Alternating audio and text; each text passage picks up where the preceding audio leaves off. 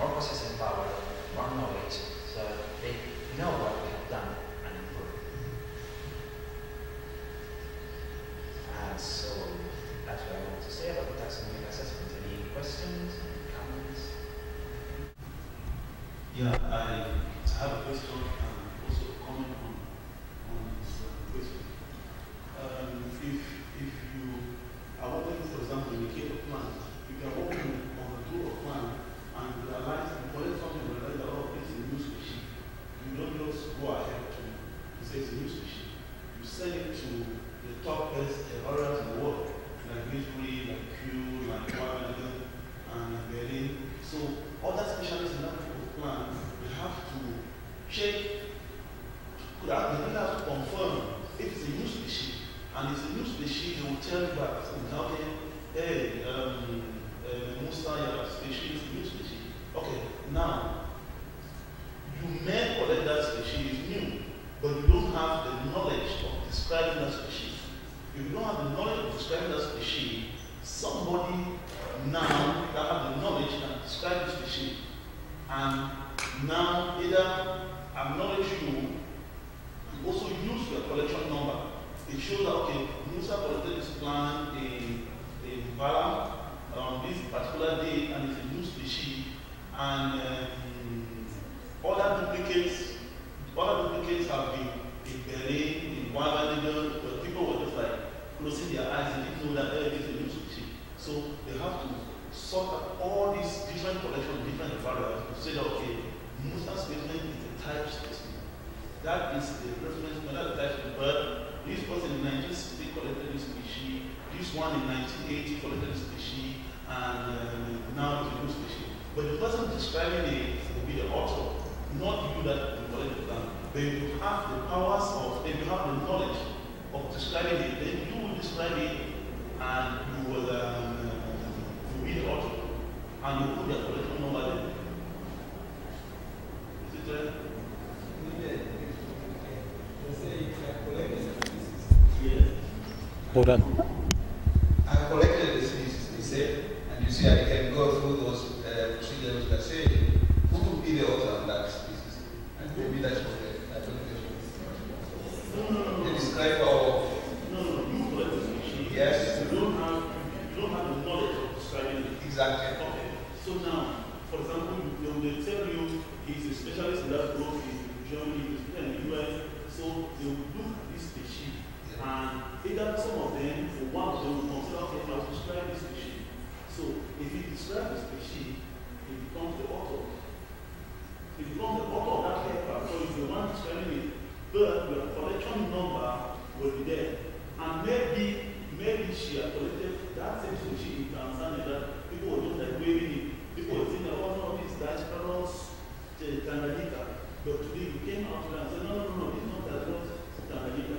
This is a new species from, from uh, Kenya. But someone collected it in, in Tanganyika and uh, gave it a wrong name. So in that case now, and you don't have the knowledge of describing it, he describe it and give your collection number. And also give her collection number in Tanganyika.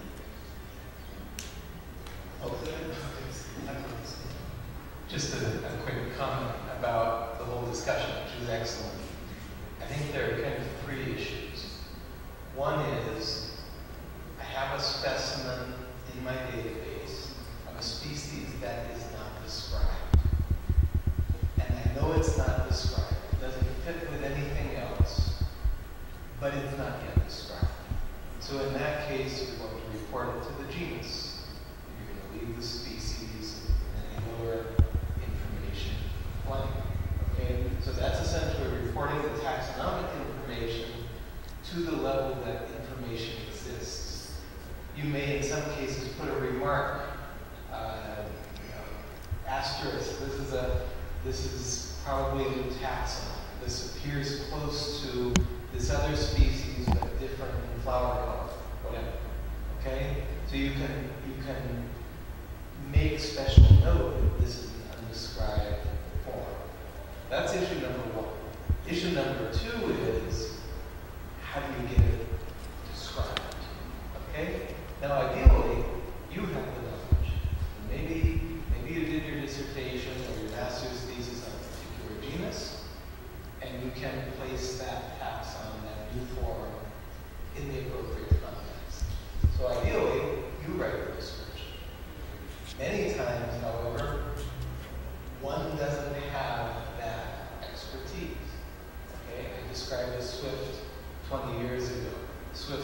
very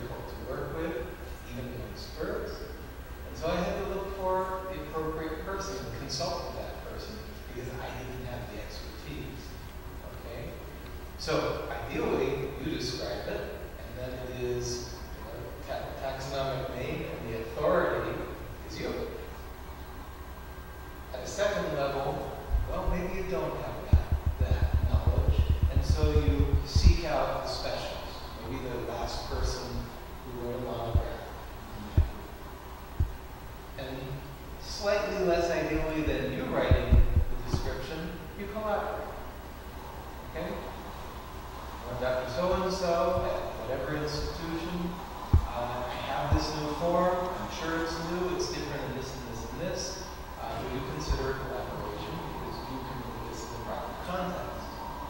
And then the third level is, this may be more common in groups that have more undescribed species, you simply send the sample to the specialist, and the specialist eventually describes it. What I'm after is you have, first of all, how do you treat the data?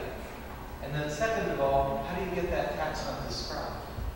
Because in biodiversity science, one of the most fundamental challenges that simply describing the role of those taxonomic units because conservation and management really can only be effective when we know what the units of conservation and management are. Thank you. It goes to Peter. I want to get it right. The person who describes the specimen, does he become an identifier or an author? I see three people here with the collector, the identifier, the author. The author is the one that firstly describes the new taxon. So if, if it's a new species, then for example, we have seen the scenario, the scenario examples that we have the name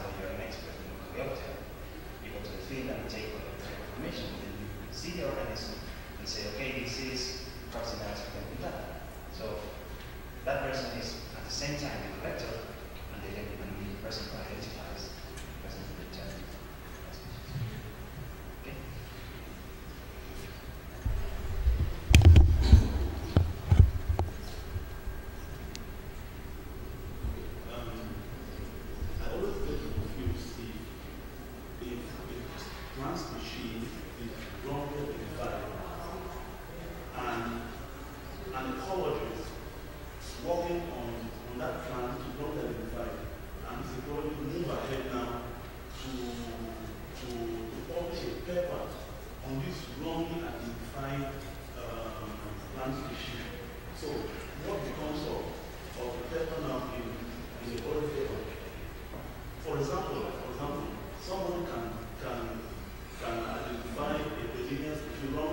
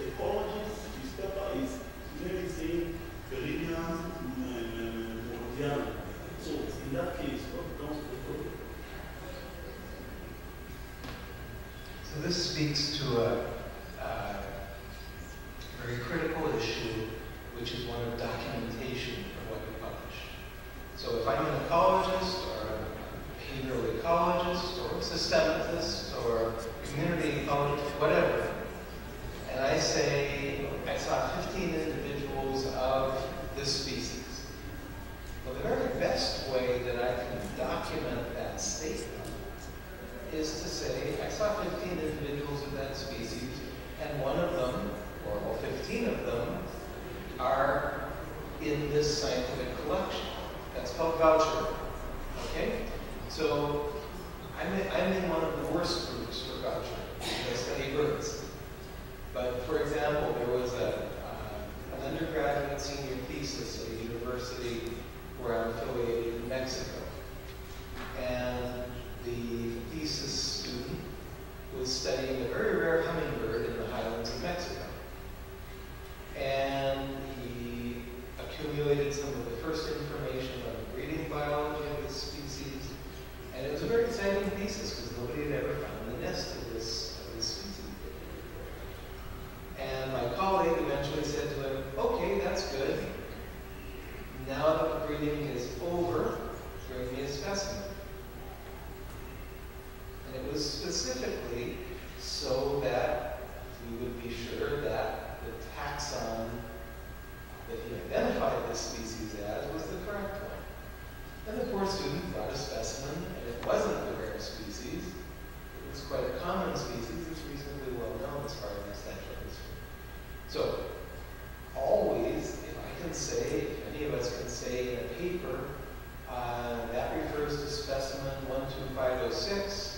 this collection, then even 50 years from now, somebody can go back and not only make sure that you made the right identification at the time, but some future taxonomic opinion might split that species into two or three or ten species.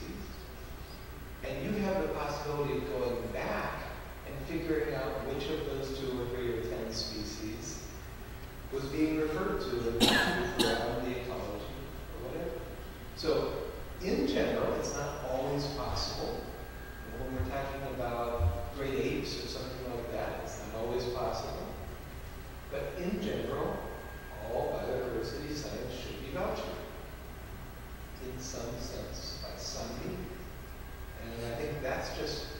basic responsible science. If I, if I say I used uh, ethanol, I need to say it is 70% or 90%. That's essentially vouchering the use of the word ethanol.